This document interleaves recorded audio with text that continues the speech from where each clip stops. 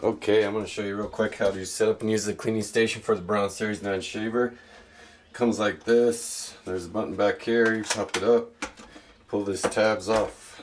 The I believe it's alcohol. Stick this in there. Pop up all the way. Make sure that popped up all the way.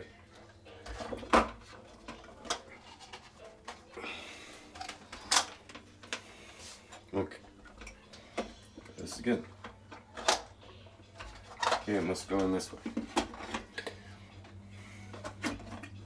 Okay, so it goes in from the back. Put this back in.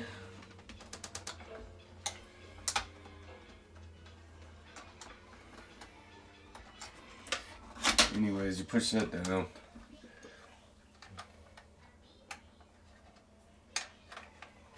Alright, it's plugged in again. On, it's got the alcohol in there. There's two prongs right here. They match up with the two prongs right here. And stick that down. Just stick it in there. Got it in there. And turn it on. Alright, now here's the confusing part. I believe it rinses it, rinses and washes, I don't know how many times.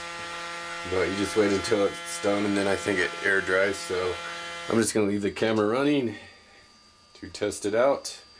And I'll probably just fast forward on the, uh, do like uh, one of those fast forward videos or whatever, I can't remember, time lapse videos when I get done and let you know how it worked out.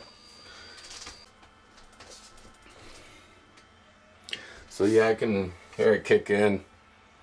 It's actually air drying the alcohol that is sprayed on there now. So I'll try to time it and let you guys know how long it lasts.